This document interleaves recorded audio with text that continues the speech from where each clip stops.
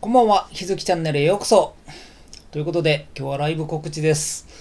えー10月はライブがたくさん決まってるんですけども、えー明日、えー10月16日は、えー姫路ベータで、えーライブをしてきます。えー、台湾さんはね、えーシルビア、えーリューネハイム、やったと思います。難しい読み方なんで、この間覚えたつもりなんですけどね。えーと、この間一回対バンした、あの、ハードロックのね、えーバンドさんと対バンです。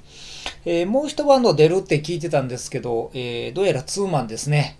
えーあ、最初からツーマンやったんかな。えーツーマンでやるということで、えー時間がまた、なんと45分もあります。ということで、えーいつものように、えー日月真治三昧で、えーいろんなパターンでね、攻めたいと思いますので、まあ、打ち込みと、えーカラオケと、弾き語りと、まあ、全部やってしまおうかなと思ってますので、えーまあ、とても楽しい、充実したライブになるのではないかと思ってます。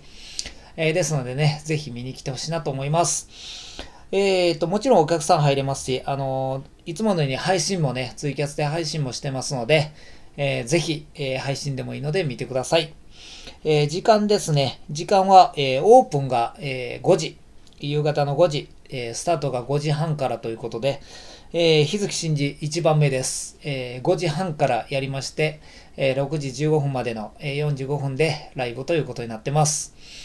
うん。まあ、あのーセッティングもね、あのーそのまま1番なんでね、パッとできるでしょうしね。ちょっとたくさんね、曲もやりたいなと思って考えてます。まあ、本当にね、えー、ベータさんをね、いつも行って、えー盛り上がるライブができてるので、次も非常に楽しみです。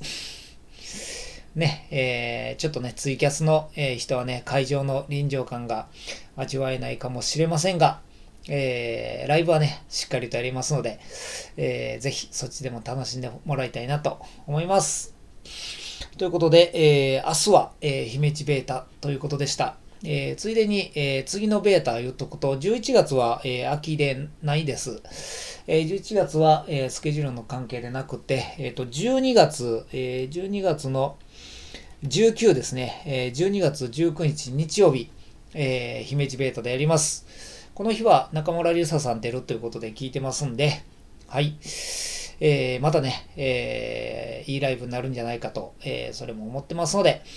えーぜひそっちもね、今から予定開けといてください。それでは、えー明日はベータでやりますので、10月16日、えー5時半から、えー日付新時、ベータでやりますので、えーぜひね、ツイキャスなど見ながら、えー応援してください。よろしくお願いします。それでは今日はこの辺で、バイバイ。